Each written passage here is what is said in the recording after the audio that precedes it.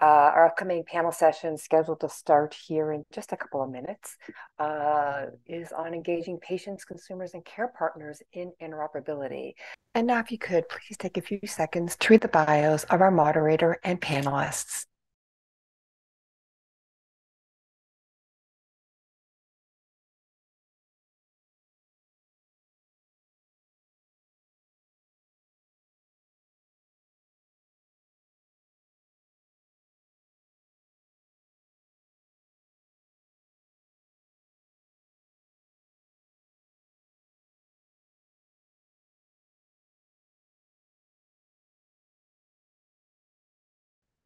All right, I see that actually, I believe everybody is accounted for. Um, Jill, we've just got to have Jill. We've got Grace, we've got Krystal, we've got our other Grace.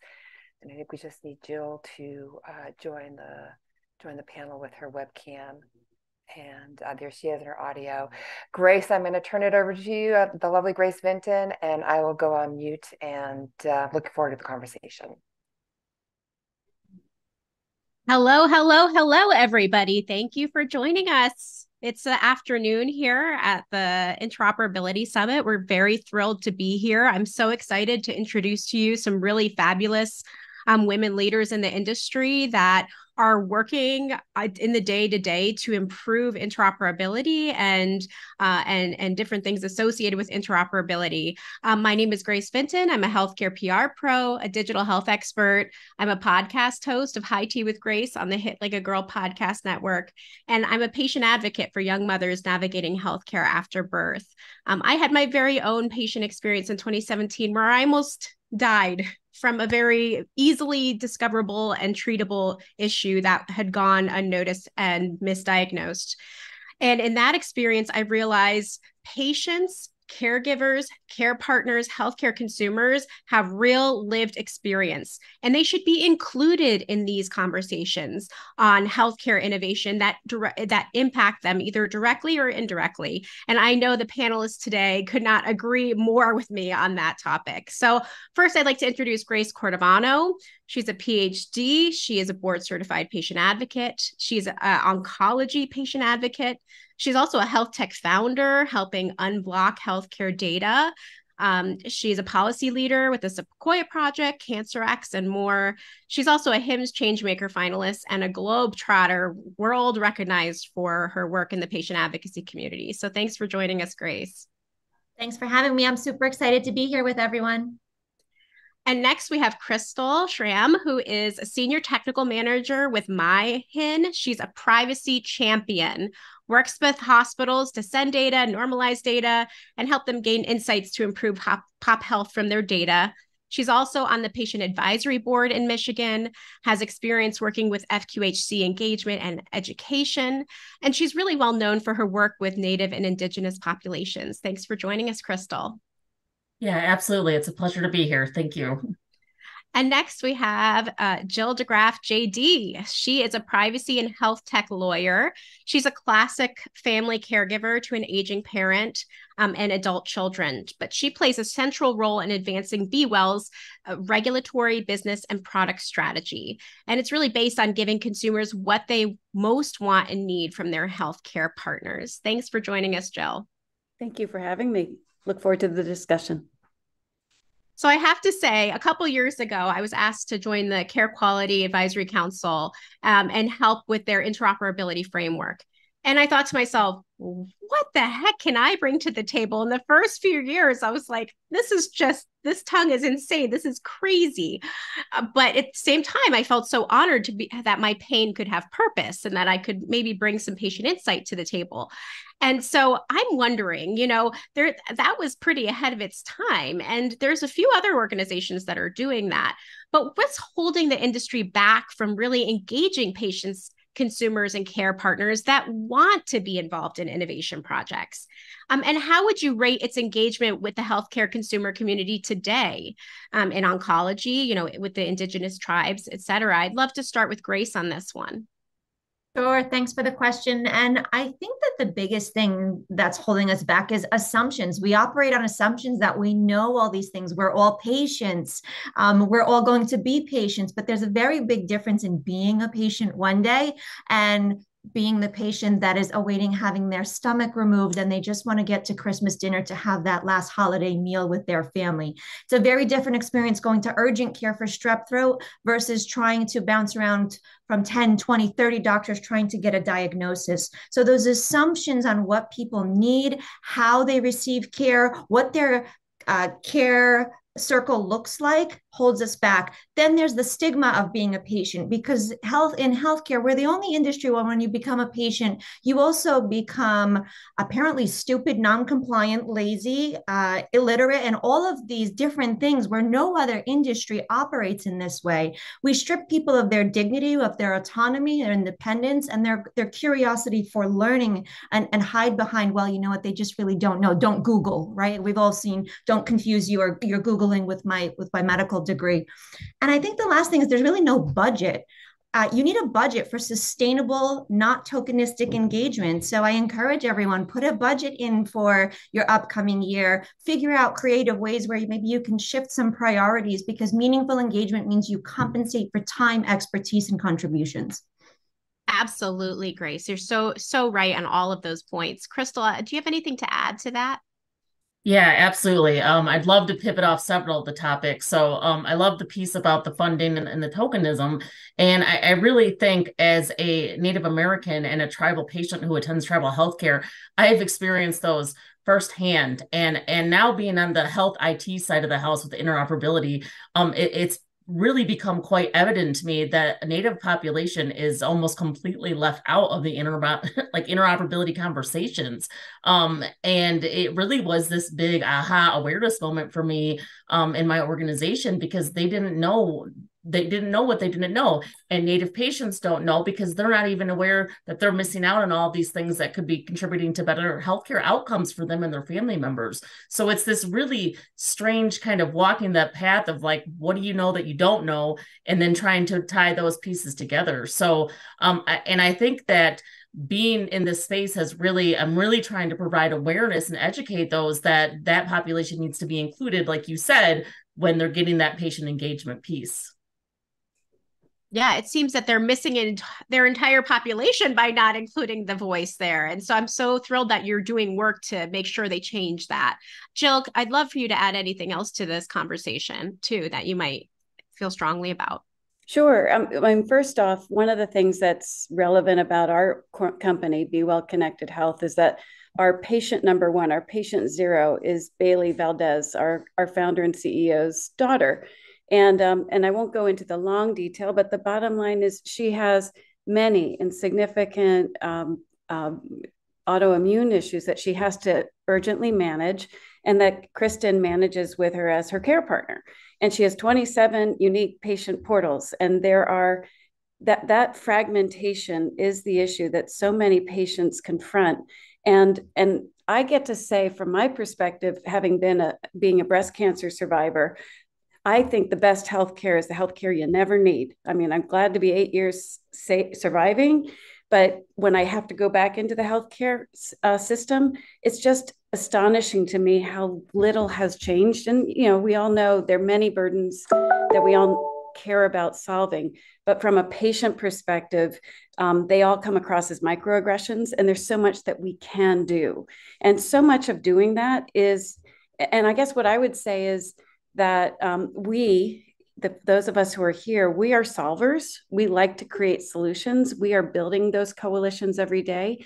And the innovators who are trying to bring the patient's um, needs at the center are really important. Sometimes, if we are not um, getting the, the, the, the, focal groups, the focus groups together, we can also work with the innovators that are looking to deliver those solutions. So true. You know, patients, caregivers, healthcare consumers, care partners, we should not have to bear the brunt of healthcare record fragmentation. 100%. That should not be on us. And I'm so grateful for the work you're doing too, Jill, in this space. Uh, so let's move on to kind of the next topic. Why does the healthcare consumer voice matter? What can consumers bring to the table that is otherwise lacking? And why does diversity of background and thought matter? Uh, let's start with you, Krystal. Yeah. So um, I think as as a Native American person, um, one of the biggest things right now is understanding our own identity and how that's fitting in the data, and wanting to get a bigger handle on is this our data? Where does our data end? Where does it begin? And there, you know, there are 574 federally recognized tribes across the United States. That's 574 unique populations that want to be able to look at their population of data for the, those patients.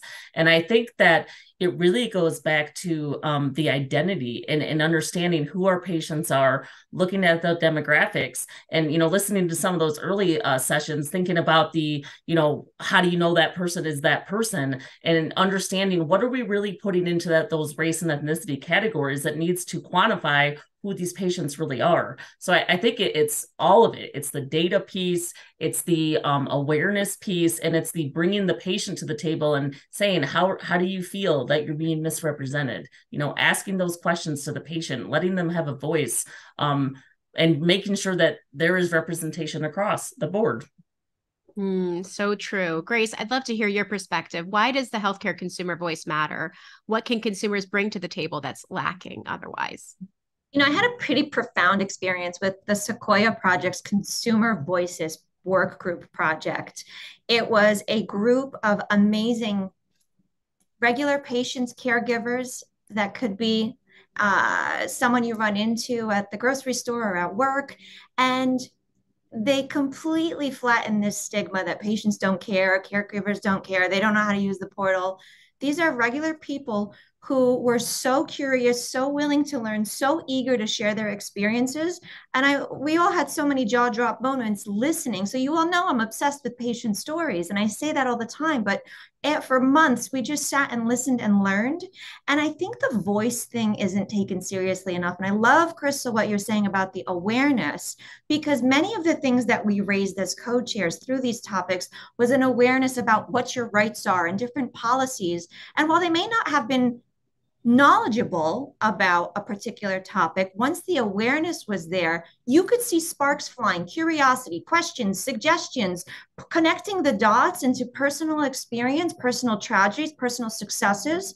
So it's really the awareness piece. It is a strategic business insight for us to be able to gather those sparks and jewels of wisdom, not just to include the voice. How do you get that engagement and those sparks to start coming to your organization to really shape the fog and around your strategy and really glean from the audience or your, your patients and consumers what do they need? What do they want? What works well? What doesn't? Where can we improve? And how do you partner to meet all those needs? Not only your patient's needs, but usually the patient administrative burdens and challenges are the other side of of the coin to what our providers are facing. So if you can solve for both the provider and the patient, that's a silver bullet.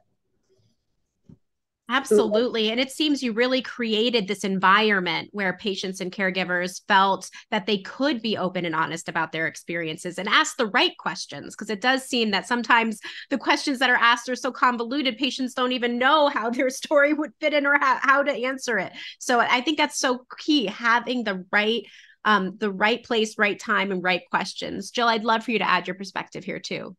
Yeah, I have two. Um, one is, again, going back to the fact that this community, we are solutions oriented, but we also operate in this framework of building consensus to advance standards. And we also, someone in an earlier panel had asked the question about which are the topmost priorities those conversations, like the ones that Grace is describing, those are the conversations where priorities are being surfaced and then voted on. They're being ranked. And so you have to have patients participate in order to elevate the priorities for those that matter most to patients. That's like number one. So that's why it matters in our communities for interoperability. Um, but I loved also that idea around um, capturing the feedback in real time and even finding those double win or like triple line objectives or bottom line objectives. And i and and uh, it is really the reason for being for b.well because ultimately we are looking to create a consumer front end experience that can um, you know drive um, intelligence and insight and not alienate the consumer. And when they most need care navigate them most easily to the care they need building loyalty with those who are willing to deliver that kind of capability. And if you're delivering that kind of a capability on FHIR data which is real time and streamed, that same data can be used to drive population health and other objectives.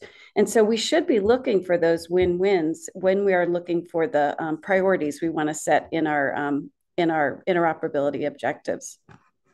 Wow, that was so impactful. I've never thought about the fact that you know, you're right. In interoperability, open standards matter, and it should be the same in term eh, when we're including the patient voice. Those standards should matter, and and and having it be open is is critical. Um, so, who is doing patient consumer care partner partner engagement well uh, what strategies are they using that the industry could learn from you know we know it's important it's critical you know the industry should be uh, 10 10 steps ahead of where it is now. But you know who is doing it right in the space and and what can the rest of the industry that is listening in today learn from them? Um, we'll start with Krystal on this one like why you guys start with me? No i'm kidding. Um no.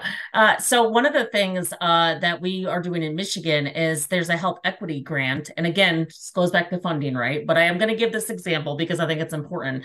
Um and it's to help improve maternal health care. And so we have a patient and community action board where we have patients and it's a very diverse group. They did a very excellent job recruiting us. I'm on there from a native american perspective. Um and we just went to they have two uh semi-annual ob initiatives uh meetings with all these people, like nurses, doctors, all the quality people. They're looking at the measures. And we got up in front of all these people and we all told our story um, about significant um, maternal health care events. And, and I think having those moments um, not just when you have like a patient and family advisory counselor who's behind the scenes and people don't really know what's happening but kind of getting patients more engaged and involved i, I think that's going to be a win because um, patients are feeling they're feeling like they matter. That our group that that board already feels like we have this bond. Um and so i think patients as patients we can learn from one another too in those moments. We can like learn like grace was saying from tragedy and from successes. I think that's really important to point out. Absolutely jill. Do you have any recommendations of folks that are doing things right and what are they doing right well, I'm going to key off of the maternal health for a moment because one of our customers, which is a health system in Florida, is prioritizing maternal health for its consumer front end experience. The, the pathways that we're building that will be linking the consumer front end experience with the clinical pathways is centering first on maternal health. And so the idea is we build the experience informed by those who most know that patient population and those who provide care to them. But then also the proof is in the pudding because we use standard product management and delivery goals, user testing, user feedback. The data doesn't lie. And that's how you iterate and get better. So, I mean, there are those sort of, eh, we're at a stage, I, I think what this is really talking about is.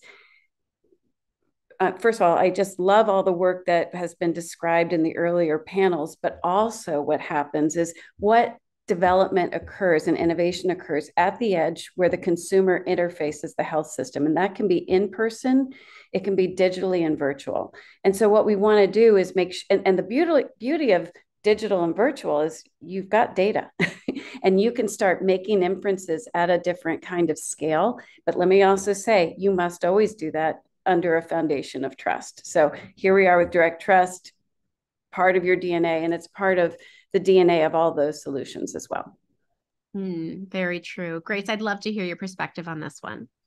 You know, I had to think when you asked this question, but I definitely have three that I want to share. So I'm going to plug Sequoia Project. Again, why? Their consumer voices work group was fantastic. Why was it fantastic? Diverse representation of voices. It wasn't just the patient, it was patients, care partners, advocates. There was continuity. It wasn't one meeting, we met for months. There was an end deliverable, a publication, a presentation. There was inclusion into the regular workflow of meetings. So this wasn't your token patient. This is now a partner and a professional. And they went so far as to compensate to include patients at their annual meeting, put patients on stage, and the patients they, that, that was one i'm going to be biased but it was by far one of the most electrifying uh, conversations that we had that spawned so many different side conversations after. Um, and I'm going to say not only was the publication something that was something to be celebrated based on all the work group's findings, it's now driving the next phase of work. So that continuity is very important.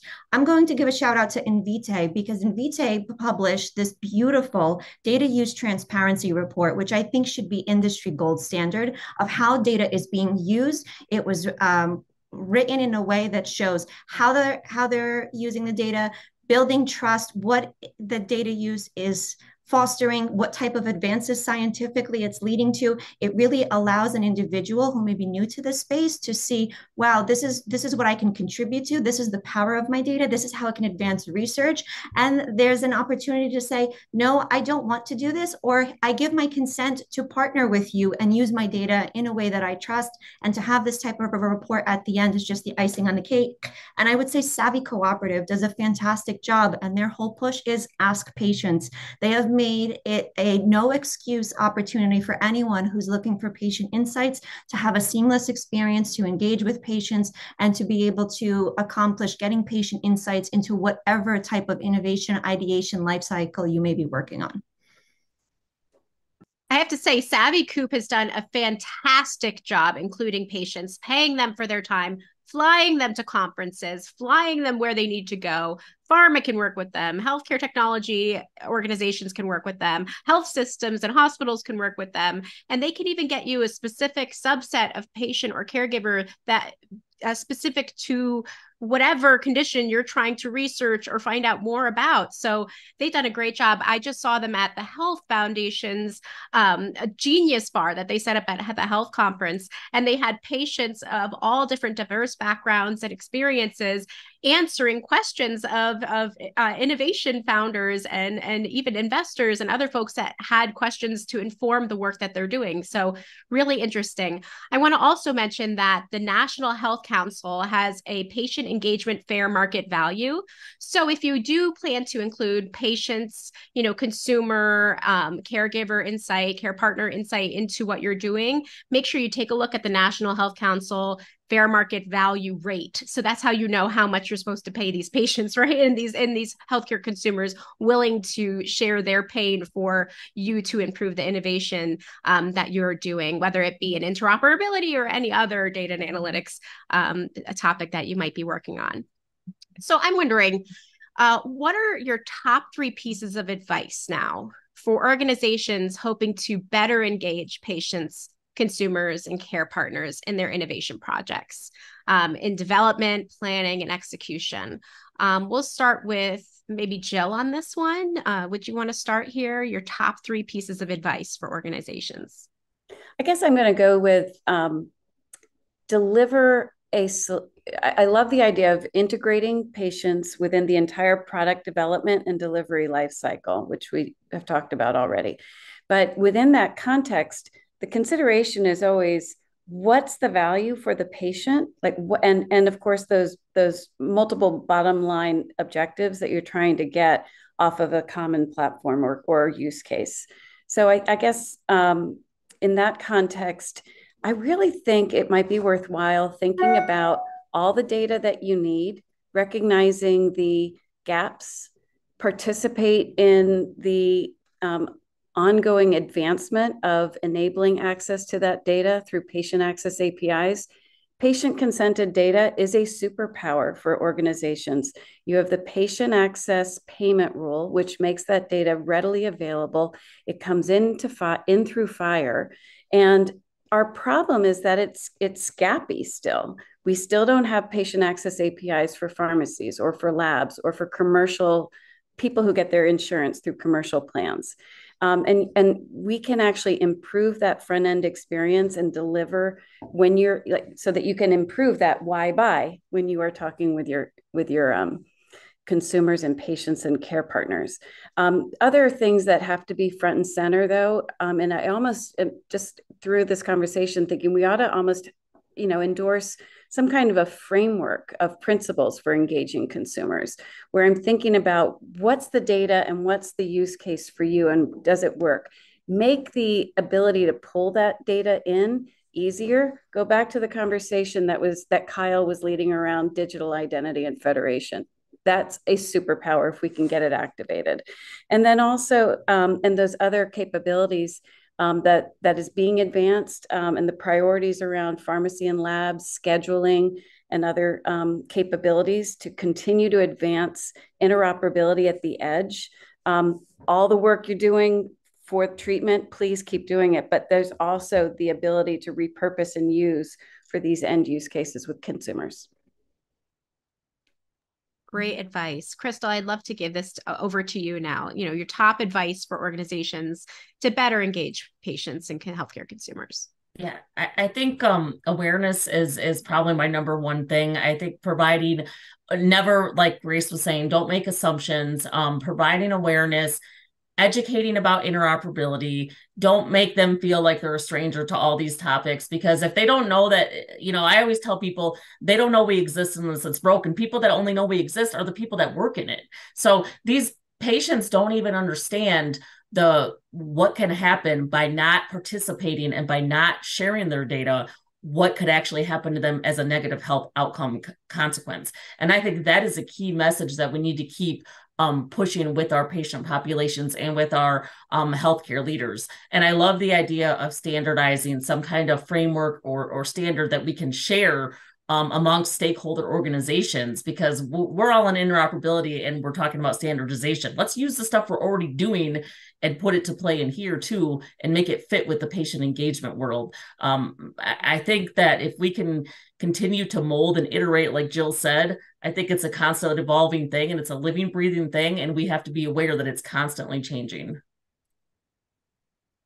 Grace, I'd love your three uh, top pieces of advice as well get someone that's a, a patient representative a care partner representative on your leadership committee on your leadership team. So it's it's baked into your regular day-to-day strategy.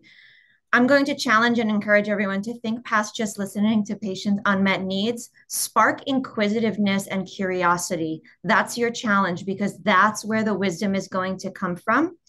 And i'm going to say make sure you're tackling patient administrative burden how are your efforts decreasing the manual labor and work that people need to do to get the care that they need? And that will help you, especially this side of the pandemic where we have staff shortages, where we have a difficulty connecting with an actual human being. How can we incorporate more actionable insights, more digital health tools to streamline very bumpy processes in a nice way? And I'm going to give you a bonus one, number four Incorporate the insights of surviving care partners. This is applicable to life altering, life limiting situations, end of life care. There's a person who has been caring for their loved one who has died, who has gone through hell and back, and can tell you all of these different issues that they've run into. We're not talking to these people. And I'm encouraging everyone include the surviving care partners. Not only is it healing for them to be able to give back and share this wisdom and engage as part of their grieving process, but the insights are powerful and you can get some low-hanging fruit on where you may want to tweak your strategies no matter where you're working in interoperability to really drive incremental meaningful change. Thank you so much, Grace. Fantastic advice. Now, I have to ask this question why interoperability, right? Like we need to include the patient voice. The patient voice is powerful, but why interoperability in particular? Um, I'd love to kind of start this off with maybe Grace. Why interoperability here? You know, they can talk about any innovation. Why is interoperability important to consider? From my perspective, when you're in healthcare, when it's something that's multiple comorbidities, life altering, life limiting, a, a, terminal situation and end of life care, the reality is it's so complicated day to day, no one is coming to save you. If you have access to the information that you need, you can make informed, educated decisions about your care because of having access to health information, we need to move past celebrating just access. Access is great, it's actionable access, being able to act. I want people to have a competitive advantage against their diagnosis. The only way to do that is to have access to your own central source of truth, and that is interoperability. Where you are, whether you're in a tribal community, whether in you're in New York City, or whether you're traveling and, and backpacking through Asia and Europe, that information needs to be there with you because you never know when that rug is going to be pulled out from under you or from a loved one. And the only way to make quick decisions is to have instant actionable access. Jill, I'd love to have your experience here too. What are your thoughts? Well, first off, I just want to rinse and repeat what Grace said. That was beautiful. Oh, yeah, absolutely powerful. yes. um, mm-hmm.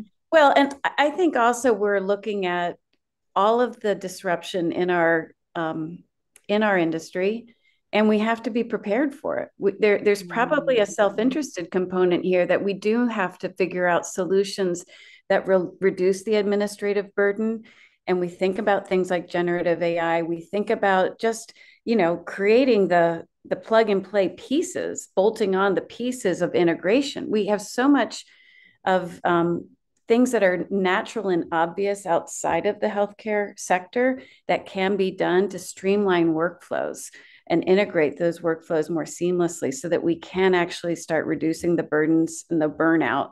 Um, and so that's just so important to do that because the patient can actually do a lot of that work just as grace was saying. We have clients that were able you know because when the when the when um the covid vaccine was started our we had a client that called us and they said oh yeah we're not going to actually go live with what we were working on. Instead we are going to be administering all these vaccines. We need a new scheduling capability. And we don't want to limit it to our our registered patients. We want to make it available to our community. We have that obligation. And so we had to build out a whole new capability. We're we were there for it because you know what what that does is you get to take nurses off the call center line to triage. you get to book a next appointment. That's what people want. They do they want to use have an open table kind of experience when they're scheduling routine care especially. So let's work on those use cases and enable the technologies, enable the innovators to do that work, which means opening up um, the legacy um, uh, information systems. Mm, so true. So true. Krystal, I'd love to put this over to you and also ask, you know, how can interoperability better improve population health generally just by help, you know, including that patient and caregiver voice in the interoperability projects? Yeah, I I love that idea. Um because I, I think what Grace said is, you know, I think about patients move in and out of all kinds of areas all the time. Um, federally qualified health centers, eh, tribal health clinics, the VA, hospitals, and the data needs to follow the patient number one. And uh, right now that does not happen to everybody. So we need to be willing to admit that. Um, and then number two whatever data we are getting we need to be able to take that that data and know who our patient is. Who who are these people? What what's what's their story? Who like grace said who is the caregiver? What has happened in their life? And really um use that knowledge to to strategically think about how we're going to really make change. I mean, you think about the surveys in hospitals, how many how many years have we been using, you know, whatever the CAHPS survey or whatever it is, you know, how are we going to refresh the same things we've done for years? Um and, and even I think about what Jill was saying with you know product development do we bring patients in when we talk about the next features we're going to put um, into a patient portal? Or do you go into athena and as a person working in the emr as the clinical user you're the one saying i need this this and this for my workflow. But is anyone asking the patient what are the features that they care about? Um, I, I think we really need to think outside the box and be willing to admit that we have done successful things, but there are lots of areas we can learn and um, take advantage of those. You know, if I if, can I pop in? Yes, feel free. Mm-hmm. I mean, so we center around tenets of loyalty, which I think would be worthwhile, you know, a broader audience thinking about as well for consumers. One is, you know, and we sort of think of t- access to care or access to data as table stakes. We need to move beyond that, right? But um, because what what our, our founder and CEO, Kristen Valdes, will often say is the war to be won is access to care. You know, people are alienated from the health system because uh, because of you know necessary fragility or the fragility that has been revealed in the system, and we need to address it. There's so many ways to address it, but at the end of the day, what people most care and want when they need care is access to care. so there's those things. But then also there needs to be the idea of not adopting a paternalistic stance towards patients, but instead to enable them and empower them to um, identify who their care partners are and what actions those care partners can take on their behalf. As i as as you said in the introduction for me i have two adult young you know children in their 20s older children in their 20s and i'm introducing them to the health system. It's really eye opening when i see it through their eyes but i'm also navigating it for my mom and it is um, and she has many more care needs and so you need to be able to participate, um, you know, de- deliver solutions that respect those choices and that also, um, you know, offers robust enough controls to preserve trust and integrity in those patient choices. Um, so I'll just go back again. Trust is key, and I will say, you know, one of the things, speaking as a privacy lawyer, is that um, many of the use cases that exist for patients can sit simultaneously in a HIPAA environment, but outside of HIPAA too. And we shouldn't be afraid of it if we are willing to adopt, if you will, a code of conduct and trust framework, which is one of the Sentinel events or Sentinel activities that the CARIN Alliance put forward as a um, you know coalition of interested stakeholders for consumer mediated health information access and exchange. And, and I would be, um, I, I, would just like to say, I, I went to the Sequoia and Carequality annual meeting, love to hear all the things that they're doing, and believe that another way we can take root is to take root in a trust framework uh, or a, a, code of conduct as you start looking through the downstream effects for um, or downstream um, activities of the participants. We need to have accountability throughout all inter- interoperability, and we can do that by and because it's a voluntary um, uh, endeavor, we can hold ourselves to a higher standard under a trust framework, and maybe the CARIN Alliance Code of Conduct is a way to get started on that. Absolutely. Grace, do you have anything to add to that? Yeah, you know, I want to talk about features. We talk about features as if, you know, a patient states they have an unmet need, we need a new feature. We need more than features. We need to be able to perform a full task, guys, like file a social security disability application, appeal an insurance denial, organize a tumor board, schedule a second opinion, gathering records from 25 different providers. So I think we need to start bundling in a way that people can start helping themselves. And and we always compare to other industries. So i mm-hmm. have to think to the travel industry how you used to go to a travel agent you had to sit there they printed out your card and your plane ticket. Well now people have absorbed that administrative burden by choice because it allows them to personalize their experience. And that experience like i would be lost without my united app my my acela and and my uber but we're you know we're, we're we're we're making progress towards that in healthcare but we're so focused on individual features like wow look at this shiny new thing that i built. Guess what? It doesn't have to be that shiny. Just get me all the right data elements so that i can apply for all of these things and just get it done with a few keystrokes. Um, I think there's a big disconnect there because we're not recognizing that patient administrative burden and the toll it takes, and that patient burnout is a silent public health crisis. People mm. are unable to carry the burden of what is required of them to get the care that they need. And I feel like if there was some emphasis on that study, and you were very well versed in provider and physician burnout and moral injury, we have a long way to go in understanding what the people, what the consumers, what the patients and their families are going through to try to navigate US healthcare and interoperability and FHIR and all of these wonderful things that are in the pipes. Um, TEFCA, all are part of a, a, really nice solution to hopefully improve and level set. Mm, well, so true. Can, do you mm-hmm. mind if I pop in? Yeah, here? absolutely. Pop in. The, um, you know, when we talk about consumer voices, uh, consumer interest, it, think about the fact that 86% of healthcare decisions is managed by the healthcare CEO of every family, right? And that's usually a woman. 86% of the time, that's a woman, right? So what are we what are we navigating we're not na- just navigating decisions off of clinical data we're navigating decisions off of financial data and we may have a transparency and coverage rule but that data is not actionable going to grace's point earlier we do need to you know when we talk about where part why you need to have a patient voice it's so that you can bubble up and prioritize patient access apis for making that data interoperable, for making real time pharmacy benefit check and similar use cases like that actionable. Um, Anna McAllister, during the um, one of the HITAC meetings where they were reviewing pharmacy interoperability recommendations last month, made an awesome observation that if if the physician is able in their in their in their oh I can't remember how you pronounce it, but the um you know the the the computerized prescribing order entry system, if they could also find out not only what the price is based on your coverages, but also can say based on the pharmacy that you prefer whether the farm pharmacy even can get supply for that, and if so, when.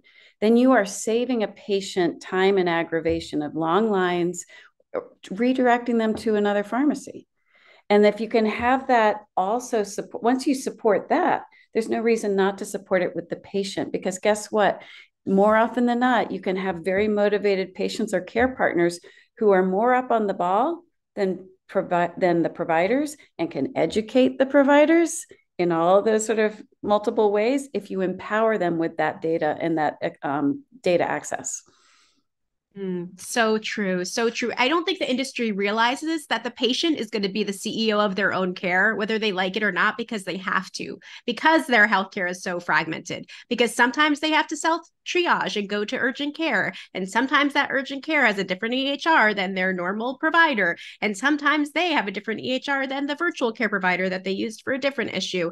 And so the, the patient is going to become the CEO of their own care, whether the industry is willing to keep up with it or not, and whether the interoperability frameworks and regulations keep up with it to a point where they're actually having the accurate information about their own health in front of them when they are making these self triaging decisions. Um, Krystal, I'd love for you to give some perspective too on what you think the future of healthcare interoperability for including the patient voice looks like. I, I think it really, um, you know, there's been so much focus, you know, with inclusion and equity. And I think a lot of, I think they're in social determinants of health. And I think all of those components that that community piece, looking at the entire um personnel, the, the, the whole picture of the patient. Um, I think that's what we were leaning towards, and I think that's what's what's going to happen. We're going to start pulling in all of those other data pieces. Um, you know, utilizing those other sources to really guide the the healthcare outcomes for the patient and and i this you know panel has given me lots of ideas already even just thinking about things that we could start doing differently or, or just thinking outside of the box. So i think keeping the conversation open with us as individuals and making patient engagement a continuous priority for um, healthcare administration and leaders um, despite funding or anything else keeping it in keeping it there Thank you so much, Krystal. And thanks to you, Grace, Jill, and Krystal for joining us today. I loved being able to learn from you. And I think the rest of us can say, wow, we, we got a lot of information in 40 minutes. And we're very grateful for the time you guys took out of your, your day to share your insights.